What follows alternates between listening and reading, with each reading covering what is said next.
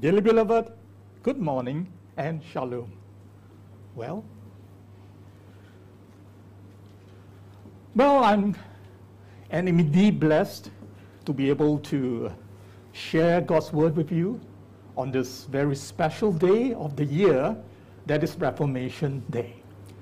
So, let's first consider a situation that is very close to our hearts. Dearly beloved, this COVID 19 pandemic has thrown our world into confusion.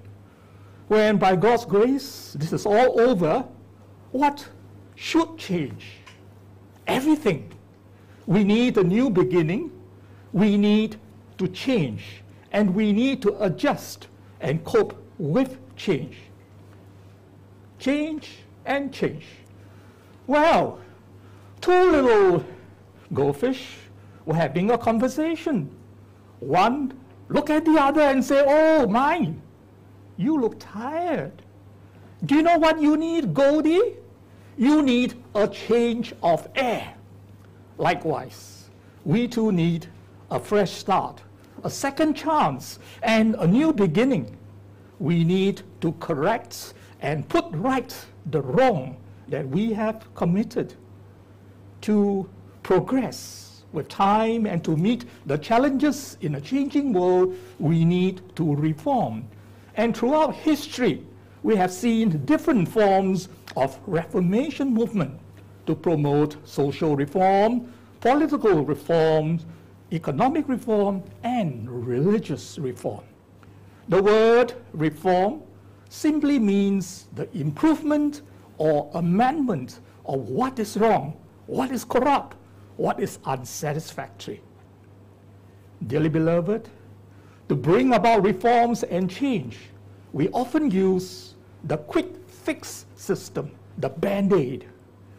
And this quick fix system and method is a non exact science.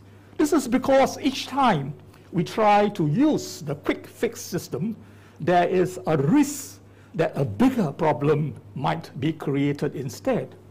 Time is wasted. The right way to solve the problem is skip. Using quick fixing methods may end up leaving us frustrated, both because of loss of time and because it did not work. Dearly beloved, we have to realize that everything happens for a reason.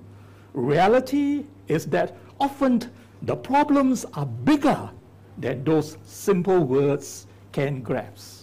The absolute worst place for a quick fix is our spiritual life. Our sin showed our imperfection. And so we say, ah, everything is going to be all right. Or just do this and you'll be fixed.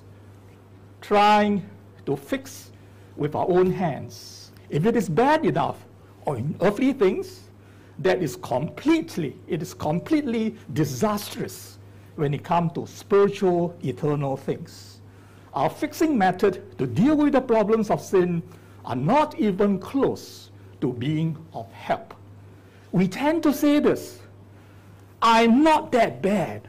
There are worse people in the world. I don't kill, I don't steal, I pay my bills, and I help abandoned dogs. It is all about love. God loves everybody, so everybody will be saved. When you feel down, look into your heart to find peace and purpose. Dearly beloved, this don't really fix anything. But one thing they do, they make the problem, they make the problem of sin worse. So what can we do about it? Martin Luther, the 16th century reformer, faced the same problem. He desperately sought the love and forgiveness of God. And he realized he could not do it he turned to the Word of God in despair. He read Romans 1, verse 17. It reads, For therein is the righteousness of God revealed from faith to faith. As it is written, the just shall live by faith.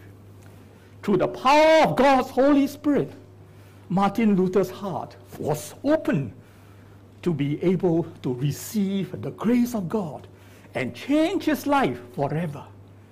He read Romans 3 28.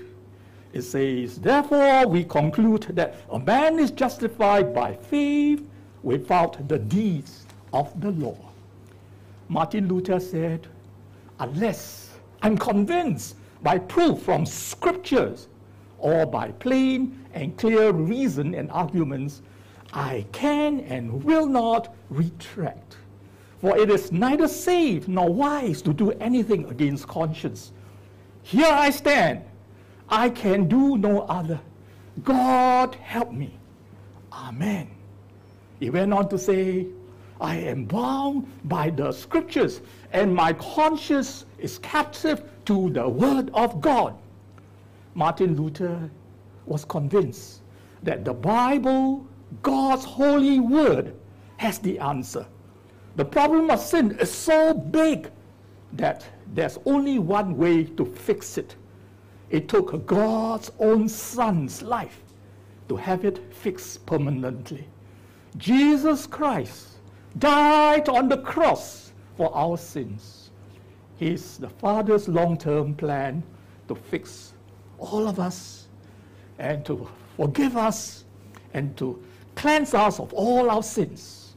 And because of that, we have peace, we have forgiveness, we have new life in Christ Jesus. So in Him, we have peace with God. Dearly beloved, today is Reformation Sunday. Celebrating the Reformation is critical and vital because it points us to the wonderful and awesome things that God did to preserve His truth amongst us. On this day, we remember how Martin Luther and other Christians of his time wanted to change the way the church taught people about God's love. At that time, the church was telling people that they had to work their way into heaven. Some people even thought they could pay their way into heaven. Luther knew that this was not what the Bible said. He knew that all of us are sinners and we need to be saved by the one and only Savior, Jesus Christ, the Son of God. So Luther reformed, changed the church for the better by telling people what the Bible said. The printing press was invented around that time, so lots of Bible could be printed and people could read for themselves what the Bible said. The great reformers of the 16th century concluded that reform was urgent and necessary in that, their days. In pursuing reforms for the church, they rejected two extremes. On the one hand, they rejected those who insisted that the church was essentially sound and needed no fundamental changes. On the other hand, they rejected those who believed that they could create a perfect church in every detail. The church needed fundamental reform, but it would also always need to be reforming itself. The reformers reached these conclusions from their study of the Word of God, from the Bible. The Protestant Reformation was the proclamation of justification doctrine. That is, salvation by grace alone, through faith alone, in Christ alone. This is the gospel. This is God's grace as a gift. The Reformation was also an objection against the gradation within the Roman Catholic Church. The century before the Reformation was categorized by public concern with the exploitation of the leaders in the Roman Catholic Church, along with their false doctrine, biblical illiteracy, and superstition. At that time, the Catholic Church, they taught unbiblical dogmas like the sale of indulgences, the treasury of merit, purgatory, and salvation through good works. Reformation teaching of faith alone points us again, again and again, to Christ Jesus and Him crucified, the true and worthy object of our faith and all our praise. Our scripture text this morning, Romans chapter 3, prompted Martin Luther to say, and I quote, I greatly long to understand Paul's epistle to the Romans, and nothing stood in the way but that one expression, the justice of God, Romans 1:17, because I took it to mean that justice whereby God is just and deals justly in punishing the unjust. My situation was that although an improper monk, I stood before God as a sinner, troubled in conscience, and I had no confidence that my merit would assort me. Therefore, I did not love a just and angry God, but rather hated and murmured against him. Unquote. Dearly beloved, the heart of the Reformation centers on righteousness through faith alone. Righteousness through faith alone. Romans chapter 3, 21 to 20, 21 to 23 and verse 28 teaches us that salvation is by faith alone. Faith is a receiver. It is essential for us to know that faith is alone because all boasting and works are excluded. The key message is faith has its value only if you put your faith in Christ Jesus. I repeat, faith has its value only if you, only if I, put our faith in Christ Jesus. Our scripture text, Romans 3 19 to 28, is what reformers constantly stress that righteousness comes from God. It is a God type of righteousness. Our problem is not only that we don't have enough righteousness, but that we have the wrong kind. God's righteousness is the divine righteousness that can only be given by God, which is needed. We need God's saving grace. Dearly beloved, we need God's saving grace. And the, uh, this saving grace is to prove that God was righteous and just and had the patience over the sins of mankind. You know, God is ever so patient with us, no matter how, how much we stray away from Him, no matter how we broke His heart by keeping on sinning, God is ever so patient and ever so ready for us to turn around, to turn back to Him, confess our sins, and get right and be right with Him. The saving faith, which looks to and trusts in Christ Jesus alone, was God earned salvation for us 100% of the way by faith alone in Christ Jesus without any merits in us. This God given saving grace is about knowledge, assent, and trust. Faith is neither opposed to knowledge or is burying our heads in the sand of ignorance. Faith has nothing to fear from knowledge. Dearly beloved, Reformation teaching of faith alone points us again and again to Christ Jesus, Christ alone, and Christ crucified, the true and worthy objects of our faith and all our praise. This is the heart of Reformation and the central focus of the Word of God. Indeed, this is the gospel. This is God's grace as a gift. Indeed, salvation comes through grace, and not our good works. Our quick fixes to spiritual matters simply doesn't hold up. And we can't work to earn salvation and justification. For we are justified to make right acceptable to God through His gracious gift of salvation, which has nothing to do really with our good works. A writer once said, he came up with this mathematical equation for salvation. He says, God's grace plus my good works equals salvation.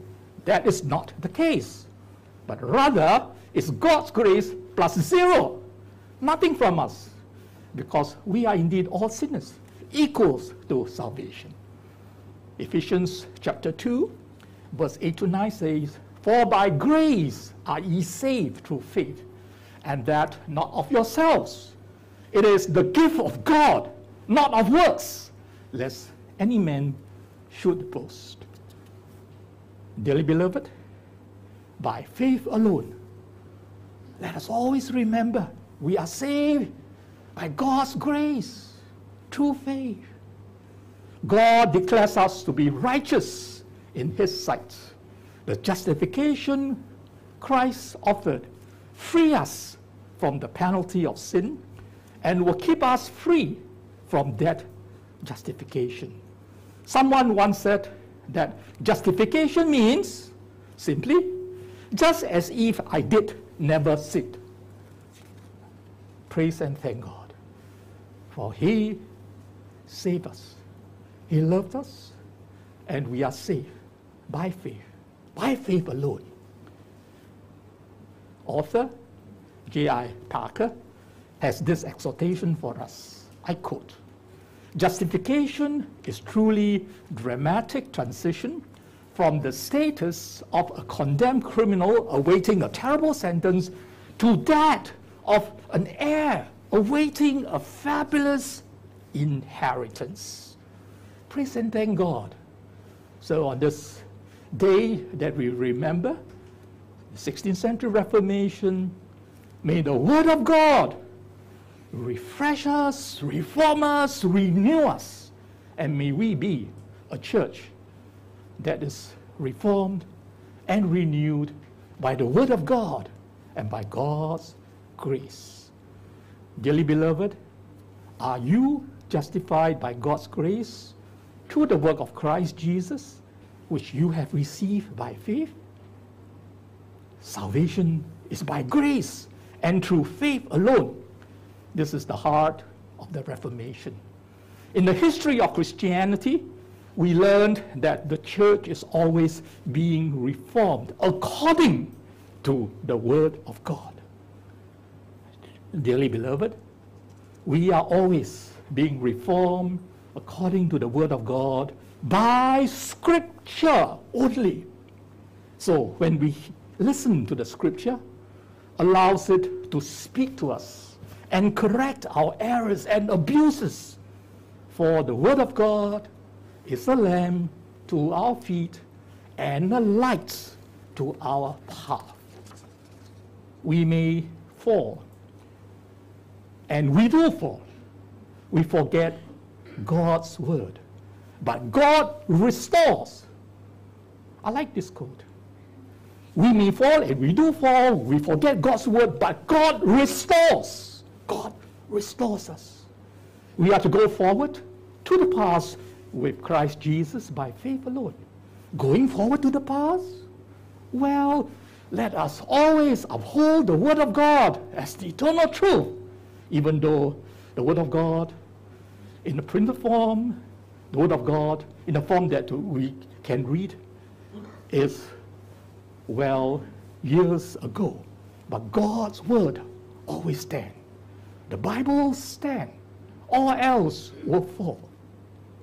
So let's remember that we are saved by grace just because God loves us. It's nothing that we can bring about it. It's simply a wonderful gift. It is like water that comes from the water station to our house. It is the water that quenches your thirst, my thirst, but you need the pipes to bring it to you. The pipes can't erase your thirst, but they bring what erases it. The Protestant Reformation wasn't about education or, so, or sociological or cultural reformation. The Reformation in 1517 was simply about returning to the freedom given to us through the gospel. And that is what it is. That is what it is still about today. So, dearly beloved, we as individual Christians and the church are always in need of reform. Our hearts need constant reformation in the sense that we need constant contact with the Word of God. That is to say that what we need is the Word of God. That is what it needs. Reformation, not quick fixes. It is a lasting solution, not an improvised attempt. As we fix our eyes on the cross, as we fix our eyes on Christ who died on the cross, was crucified for us on the cross, we know by faith what can really bring us peace, true peace, even at times like this, even during times of COVID, even during times when the economic uh, situation is not good, even in times when people are retrenched, even in times when people lose their loved ones to COVID. Yes, God will give us true peace and peace that cannot be taken away. So let us be encouraged by God's word. Let us always, daily, hourly, every moment, every second be renewed and reformed by God's word that, yes, Lord, is indeed your word that is precious to me. And it is on the promises of God's word. It is holding on to God's word, holding on to faith alone, Christ alone, Scripture alone, grace alone, and of course, we give full glory to God. And, dearly beloved, it's a question for us to ponder, to reflect upon. That is, have we been reformed in Christ? Do we stand firm on God's word and let God speaks to us today to remake and to remold us, to reform us in Christ's image? Well, may the Lord help us. May the Lord help us not only to know the answer, may the Lord help us to make a commitment and say, Dear Lord, I'm but a sinner, saved by your grace, through faith alone. Forgive me, O Lord. I may slide, I may fall, and I do fall. But Lord, restore me. Restore me. Renew in me a heart that will edify you till Christ Jesus comes. The message of Reformation is not a message that began with Martin Luther, but with Jesus Christ, the first true reformer. This reformation is something that is to be continued today, both in the church and in our hearts. And dearly beloved, in your hearts. Let us look to the Lord in prayer. Dear Heavenly Father, we thank you for all your many wonderful blessings upon us, especially for the gift of your Son, Jesus Christ, who through his life, death, and resurrection here on this earth has revealed to us the nature of your love, the forgiveness of our sins, and the assurance of life eternal in your heavenly kingdom. Through the power of your Holy Spirit, increase in us an appreciation for your redeeming grace and the desire to walk humbly in relationship with you as disciples of Christ Jesus. Help us, Lord, to stand firm on your holy word, be reformed in Christ Jesus, and to glorify and edify your holy name. In Jesus' most precious name we pray. Amen.